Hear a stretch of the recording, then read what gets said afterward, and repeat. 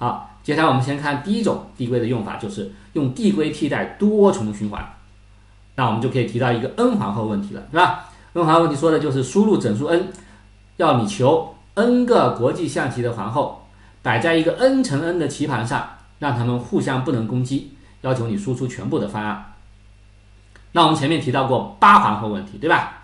啊，八个皇后摆在八乘八的国际象棋棋盘上面，那皇后可以直。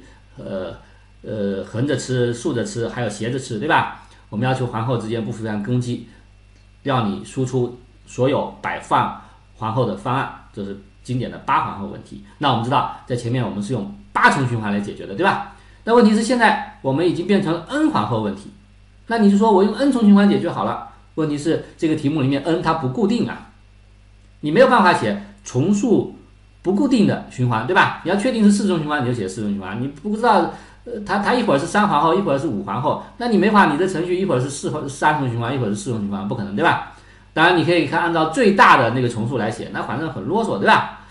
所以我们怎么办呢？我们可以在这里就可以用递归来替代多重循环了。实际上，递归本身就能够起到替代循环的作用。有的程序设计语言，它甚至没有循环，它只有递归这种机制。比方说 Lisp。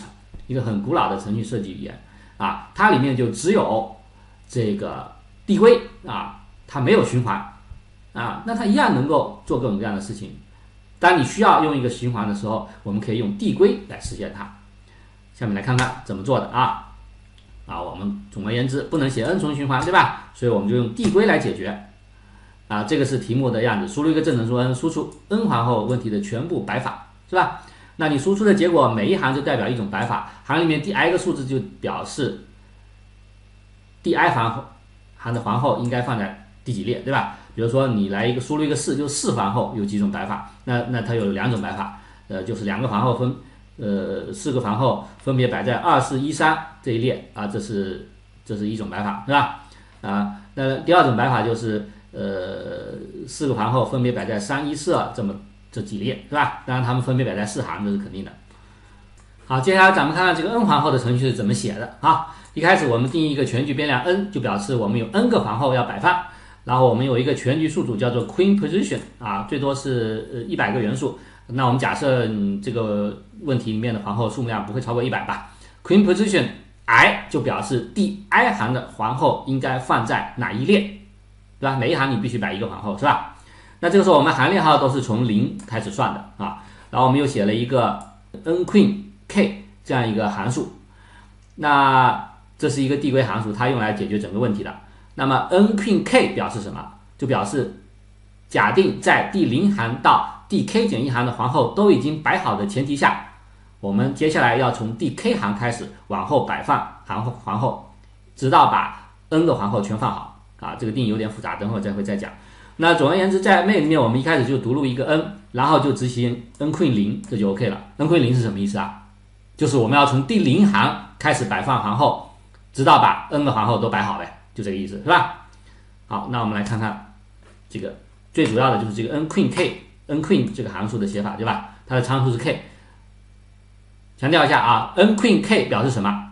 就表示在零到 k 减一行皇后已经摆好的前提下，我们要摆放。第 k 行及其后面的皇后，注意了，当 n queen k 被调用的时候，我们认为从第零行到第 k 减一行的皇后都已经摆好、摆妥当了啊。然后这时候我们要从第 k 行开始往后摆。那首先我们就判断一下 k 是不是等于 n。如果 k 等于 n，那说明什么啊？说明 n 个皇后都已经摆好了，对吧？因为你从第零行到第 k 减一行的皇后一共有 n 个，都已经摆好了嘛。那既然 n 个皇后都已经摆好了，那我们肯定就不用再去试图摆放新的皇后了，对吧？那这时候我们要做的事情就是把摆好的那些皇后的位置给它输出就行了。那么那些皇后摆好的位置放在哪儿呢？前面说了，放在 queen position 这个数组里面，queen position i 就表示第 i 行的那个皇后所放的这个列号。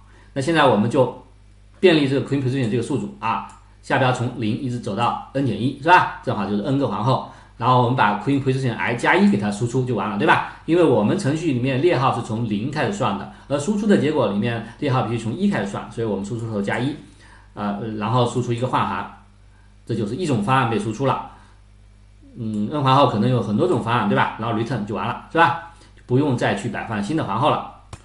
呃，那要是 n 不等于呃 k 不等于 n，那这时候我们怎么办呢？啊，那我们程序就会走到这，对吧？k 不等于 n 的话，程序就会走到这。接下来我们要做的事情就是摆放第 k 行及其后的皇后。那首先你要解决的是第 k 行的皇后摆在哪儿？那怎么摆呢？我们就试一下呗。第 k 行的皇后有多少个位置可以选择啊？自然有 n 个位置可以选择，对吧？那我们就要每个位置都看过去。我们把 d k 行的皇后摆在这，到底行还是不行，对吧？注意你每一个位置都要试，因为你要输出所有的解。那么 d k 行的皇后摆合适的摆放位置可能有不止一个，所以你要每个位置都要试过去啊，不能够遗漏。那怎么试呢？那当然就是便利 d k 行皇后所有可能的位置，i 这个 i 呢，当然就从零开始一直到 n 减一，是吧？那对每一个位置 i，我们要判断这个位置到底是不是可行。那怎么判断呢？当然对位置 i 就是列 i 嘛，我们就要判断 d k 行的这个皇后如果摆在列 i，我们看看它跟前面已经摆好的第零行到第 k 减一行的皇后，它们会不会冲突？无非就做这个事情，是吧？不冲突，我们就能够摆在这儿；冲突，我们就不能摆在这儿。好，那接下来我们就要考察前面的第零行到第 k 减一行的那些个皇后了，对吧？所以就 for 借等于零，借小于 k 借加加。这个界就表示前面摆好的第 j 行的那个皇后。总之，我们在这个循环里面是要和已经摆好的 k 个皇后的位置比较，看是否冲突，对吧？那现在好，我们是把第 k 行的皇后摆在第 i 列。那我们看看前面第 J 行的皇后，它摆的列号是 queen position j，啊。为什么会摆在 queen position j？？我们等会儿后面能够看到啊。总而言之，第 J 行的皇后摆在 queen position j，。那我们看看这两列是不是相同？这两列是相同，那自然就冲突了，对吧？那如果这两列不穿不相同，也有可能冲突，因为这两个皇后可能斜着对角线那种方式能够吃到，对吧？那斜着能够吃到，它的定义是什么？就是两个皇后它的行的差的绝对值和列的差的绝对值相同，那就说明他们能够斜着吃到。好，那现在这个 queen position 界减 i，自然就是 d k 行的皇后和 d j 行的皇后他们的列之差，对吧？那我们取个绝对值。那 d k 行皇后和 d j 行皇后行之差自然就是 k 减 j，，对吧？我们也取个绝对值。如果这两个绝对值相等的话，就说明你把 d k 行的皇后摆在摆在 i 这个位置，它会跟 d j 行的皇后冲突，是吧？那总而言之，上这这上面这个条件就是冲突的条件。如果这个条件满足了，那我们就 break 了。break 就意味着什么？break 从内存循环 break 就意味着我们不需要再去看下一个皇后了，对吧？它只它跟前面有一个皇后冲突，那就冲突了。我们不要再去看看它跟别的皇后有没有冲突，是吧？所以直接就可以 break 出来，就表示冲突了。好，总之这一块这个循环是用来判断我们把 d k 行这个皇后摆在 i 这个位置到底是不是可行的，对吧？这个循环执行完的话，我们就能够做出一个判断了，对吧？循环执行完就走到这，怎么做出一个判断呢？我们就看看借是不是等于 k。呃，大家可以看到，如果这一块 break 出来了，那借它肯定就不会等于 k 了，对吧？如果这个循环没有被 break，那就会借一直加加，一直加到 k，然后循环结束，对吧？所以我们通过这个循环外面来判断借是不是等于 k，就知道有没有执行过 break。如如果界等于 k，就说明没有执行过 break，没有执行过 break，就说明当当前我们选的这个 d k 行的位置 i 跟它前面所有的皇后都没有冲突。那既然不冲突的话，我就可以把 d k 行的皇后。摆在第 i 列，对吧？那我既然可以这么做，我就把我就这么做了，并且把这个事情记下来，就是 queen position k 等于 i，这就是把 d k 个皇后摆放在位置 i。好了，这时候 d k 行的皇后的问题就解决了。那接下来我们要做什么呢？接下来我们当然就要调用 queen k 加一去干嘛？去从 d k 加一行开始再去摆放剩下的皇后，对吧？那么我们说你要。从 d k 加一行开始摆摆放后续的皇后，有一个前提，就是从 d 零行到 d k 行的皇后都已经摆放妥当。那这个前提是达到了呢？是达到了。为什么？因为我们当初在执行 n queen k 的时候，我们就已经假设从 d 零行到 d k 减一行都摆完了，对吧？然后在执行 n queen k 的时候，我们在这里执行了 queen position k 等于 i，这时候我又把 d k 行的皇后给它摆放妥当了。那当然，这个时候我就可以去调用 n queen k 加一。从 d k 加一行再去开始摆放皇后了，对吧？那这就是递归了。那么在这个递归的过程到底什么时候结束呢？就是前面看到的，当 k 等于 n 的时候，我们就不需要再递归了。k 等于 n 就说明什么？哎，前面读零到 k 减一行的皇后一共有 n 个，全部都摆放完了，那我们就把它的摆放的位置，每一行摆放的位置都给它输出，不就得了，对吧？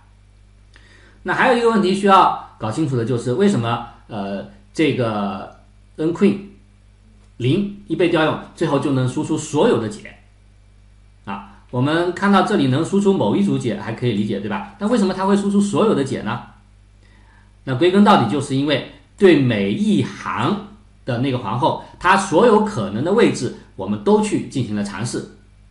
归根到底，它就跟一个 n 重循环一样，就每一行的每一个皇后的所有的位置的组合，我们都试过了，对吧？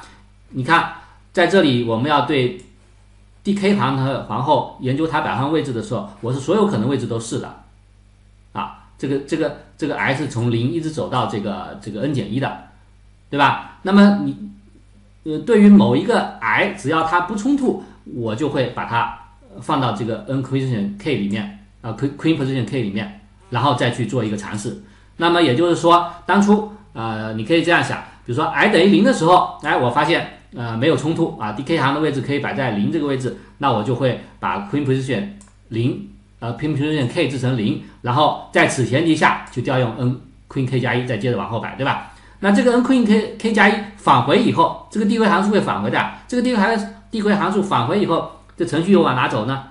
当然就回到了这个这个 for 循环，对吧？回到这个循 for 循环，然后 i 就变成一了，i 就变成一呢。如果摆放在一这个位置也不冲突，那么我们这个程序还会走到这个 queen position k 等于一啊。这个时候 d k d k 行的皇后就是摆在位置一，然后再接着下去往呃再接下去。摆放从 k 加一行到后面的这个皇后，对吧？这个函数返回以后，又会回到了这个 for 循环这里，然后我们就 i 就等于二，然后呢，i 等于二如果不冲突，我们就又会把这个呃呃 d k 行的呃皇后的位置设置成二，然后再接着后续摆下去，对吧？所以实际上我们这个递归函数实际上是便利了所有的皇后的摆放情况的啊，它就跟一个完全的 n 重循环是一样的。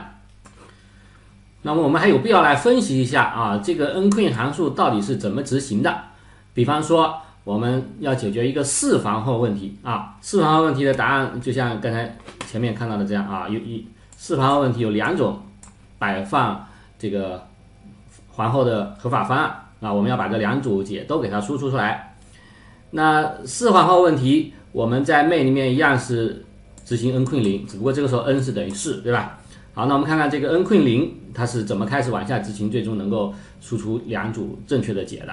那那一开始这个 k 就是等于零，k 等于零的话啊，这里不走，然后然后就会走到这个循环这里，对吧？然后就尝试摆放第零个皇后的位置。那第零个皇后位置是从第零列开始试的，那很显然第零列是没有问题的，对吧？前面根本就没有任何皇后嘛，这个循环呃不会判断说跟前面的皇后冲突。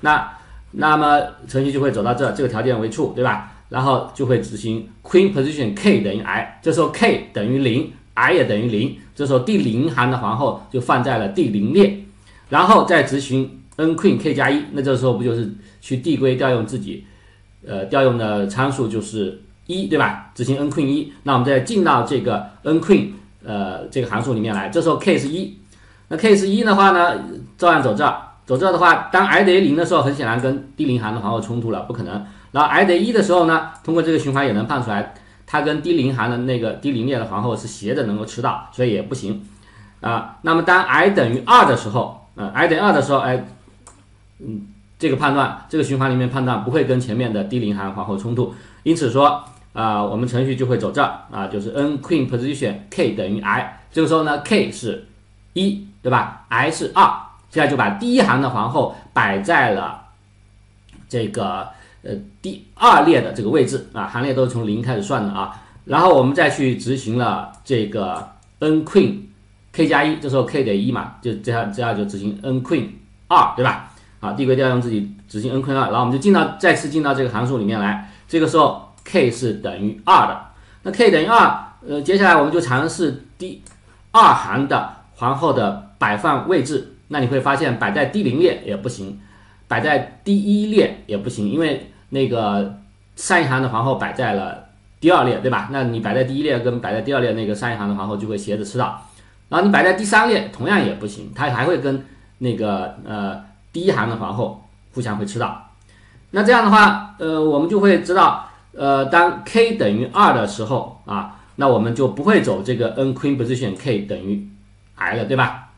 啊，而是而是在这个呃整个整个循环执行完以后，我们都没有递归调用 n queen 这个三，对吧？而是直接就返回了。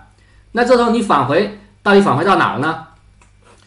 嗯，在这个第零行的皇后摆放在第零列，第一行的皇后摆放在第二列的情况下，我们看到第二行的皇后已经没有地方可以放了啊。也就是说，当 k 等于 k 等于二的时候，呃，程序是不会执行这一块的。也就是说，没地方可以放这个第二行的呃皇后了，而是直接在这里返回了。那返回到哪儿呢？那我们就要看看当初是在什么地方调用 n queen 二的，对吧？很显然，当初是在 k 等于一的时候，程序走到了这儿，然后。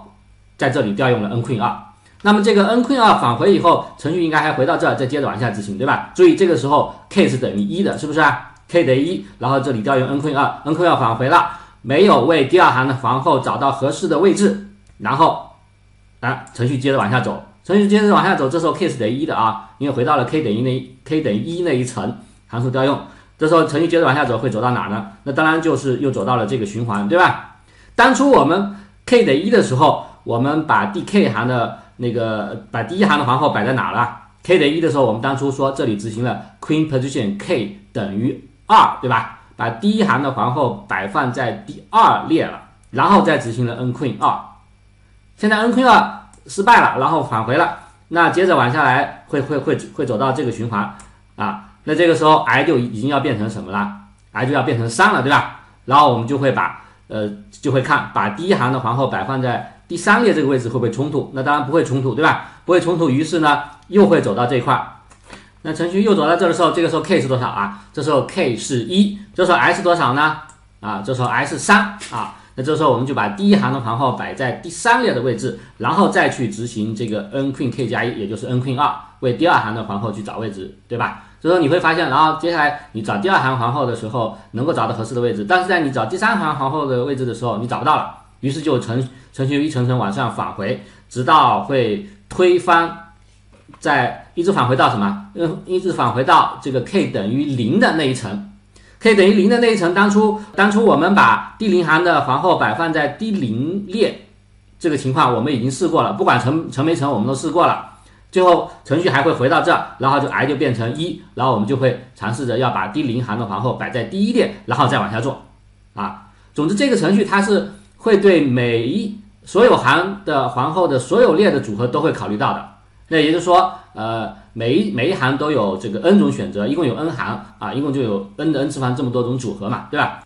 它会便利到，它会穷尽所有可能的情况啊，在有的可能的情况，那么程序就会走到这儿，那就能输出一个结果了，在有的情况呢，就走不到这儿，就不会输出啊，所以它它的。时间复杂度跟一个 n 重的循环是一样的。